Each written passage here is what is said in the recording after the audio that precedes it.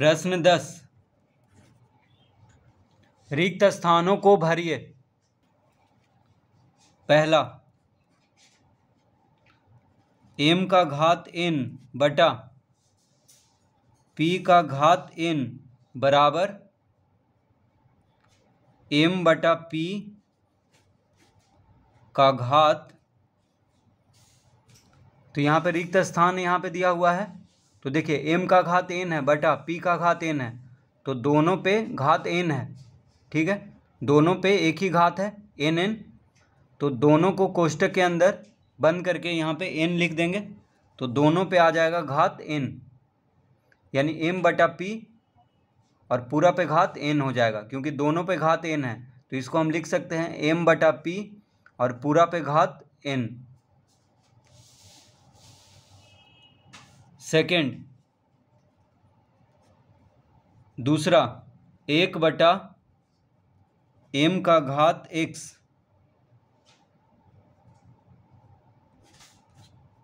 और पूरा पे घात वाई बराबर।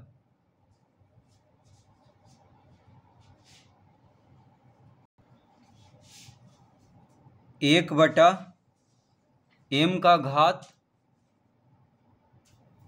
अब देखिए, एक बटा एम का घात एक्स है और पूरा पे घात वाई है। तो एक का घात वाई एक हो जाएगा। एक पे चाहे कितना भी घात हो, एक ही होगा। एक पे चाहे कोई भी नंबर घात हो, जैसे एक पे दस घात हो तो एक ही हो जाएगा। एक पे घात बीस हो तो एक ही होगा। इसीलिए एक पे घात वाई है तो एक ही हो जाएगा। और एम का घात यहाँ पे एक्स है और पूरा पे घात है वाई तो एक्स और वाई को गुना कर देंगे तो एम का घात हो जाएगा एक्स वाई एम का घात क्या होगा? एक्स वाई ठीक है? तो एम का घात एक्स और पूरा पे घात वाई है तो एक्स और वाई गुना हो जाएगा तो एम का घात हो गया एक्स वाई तो एक बटा एम का घात एक्स वाई इसको हम लिख लेंगे। तीसरा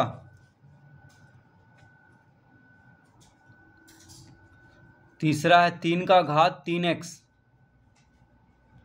तीन का घात तीन एक्स। बराबर सत्ताईस का घात। अब देखिए, तीन का घात तीन एक्स है, बराबर सत्ताईस का घात कितना होगा?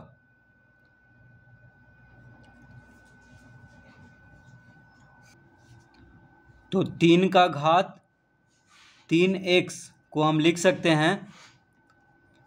देखिए, तीन का घात तीन और पूरा पे घात एक्स इस तरह हम लिख सकते हैं। तीन का घात तीन एक्स को। तीन का घात तीन और पूरा पे घात एक्स तो कितना आ गया? तीन का घात तीन होता है सत्ताईस। यानी सत्ताईस का घात एक्स इस तरह हम लिख सकते हैं। तीन का घन होता है सत्ताईस। तीन का घात तीन सत्ताईस होता है, तीन तिया नौ नौ तिया सत्ताईस। ठीक है? तो तीन का घात तीन एक्स को हम इस तरह लिख लेंगे, तीन का घात तीन और पूरा पे घात एक्स। तो तीन का घात तीन होता है सत्ताईस। तो सत्ताईस का घात एक्स हो गया। ठीक है? तो यहाँ पे क्या भराएगा? रिक्त स्थान में एक्स भराएगा, क्योंकि तीन का घात तीन एक्स को हम लिख सकते हैं, सत्ताईस का घात एक्स।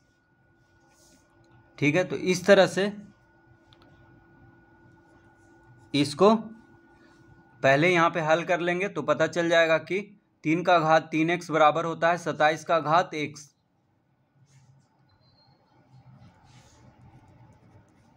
चौथा, एक्स का घात वाई गुना एक्स का घात जेड। गुना एक्स का घात टी बराबर एक्स का घात अब देखिए एक्स का घात वाई गुना एक्स का घात जेड गुना एक्स का घात टी बराबर हम लिख सकते हैं एक्स का घात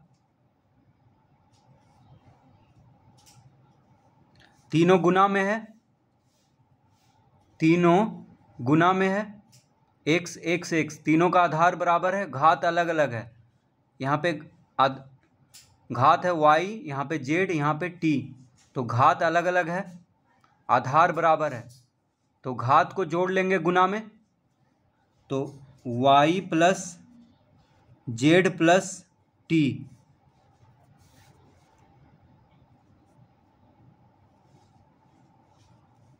ठीक है Y plus Z plus T हो गया।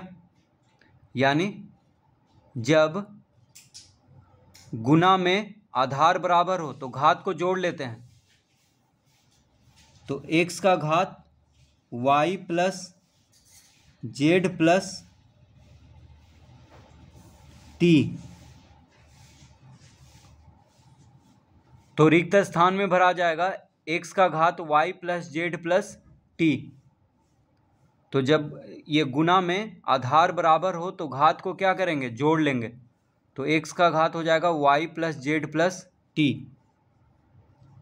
इसका उत्तर। तो रिक्त स्थान में यहाँ पे भरा जाएगा Y plus Z plus T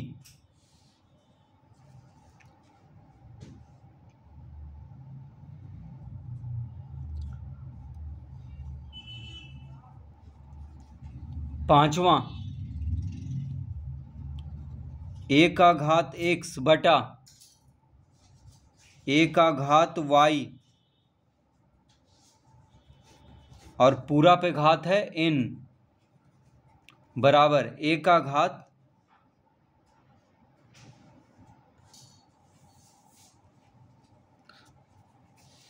तो देखिए ए का घात एक्स बटा ए का घात वाई और पूरा पे घात एन को हम लिख सकते हैं। ए का घात एक्स माइनस वाई और पूरा पे घात है एन। तो इसको हम लिख सकते हैं ए का घात एन गुना एक्स माइनस वाई। यहाँ पे देखिए ए ए आधार बराबर है और ए ब, ए का घात एक्स बटा ए का घात वाई है यानी भागा में है। तो भागा में क्या होता है? घात को घटा लेते हैं। तो एक्स में से वाई घटा लेंगे तो ए का घात हो गया एक्स माइनस वाई और पूरा पे घात है एन। ठीक है? पूरा पे घात क्या है? एन है। तो पहले क्या करेंगे? ए का घात एक्स बटा ए का घात वाई को हम लिख लेंगे। ए का घात एक्स माइनस वाई क्योंकि भागा में घात को घटाते हैं। जब आधार बराबर रहता है तब, और पूरा पे घात एन है तो घात पे घात है तो घात को गुना कर लेंगे। तो ए का घात हो जाएगा एन गुना एक्स माइनस वाई तो ए का घात कितना होगा? एन गुना एक्स माइनस वाई इसका उत्तर। तो ए का घात एन गुना एक्स माइनस वाई हो जाएगा।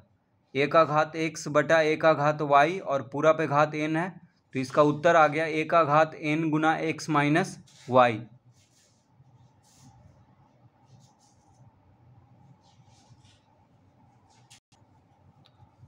सिक्स। छठा प्रश्न है एम का घात एन गुना एन का घात एन बराबर।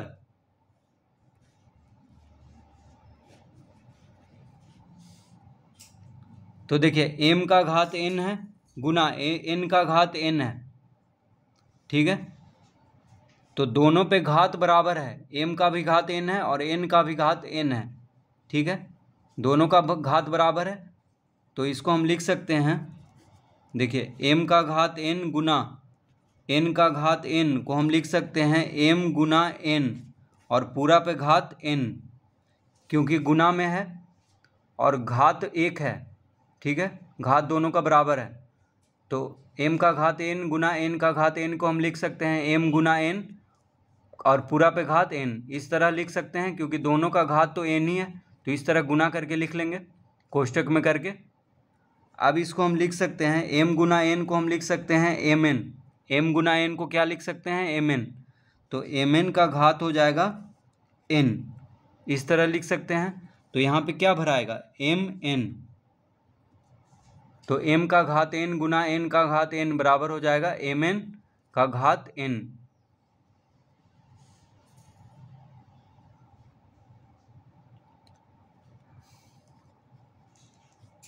सेवन। ए का घात एट। ए का घात आठ गुना ए का घात पाँच बटा ए का घात तीन बराबर ए का घात अब देखिए, इसको हम लिख सकते हैं ए का घात आठ गुना ए का घात पाँच बटा ए का घात तीन। तो इसको हम लिख सकते हैं, देखिए ए का घात आठ गुना ए का घात पाँच माइनस तीन। ए का घात पाँच बटा ए का घात तीन है तो घात को घटा लेंगे। ठीक है, क्योंकि भागा में है ए का घात पाँच बटा ए का घात तीन है तो भागा में है तो घात को घटा लेंगे। तो ए का घात आठ गुना ए का घात पाँच माइनस तीन, पाँच में से तीन घटाएँगे तो दो आ जाएगा। तो ए का घात आठ गुना ए का घात दो हो गया। ठीक है, पाँच में से तीन घटाने पे दो आ गया। अब ये गुना में है तो गुना में क्या करेंगे? घात को जोड़ लेंगे तो आठ और दो को जोड़ेंगे। ठीक है, घात को जोड़ लेंगे तो आठ दो दस हो जाएगा ए का घात दस। तो इसका उत्तर आ गया, ए का घात दस। तो यहाँ पे दस भर देंगे ठीक है, इसको हल करने पे कितना आ गया? एक का घात दस आ गया। तो एक का घात आठ गुना एक का घात पाँच बटा एक का घात तीन, बराबर हो जाएगा एक का घात दस।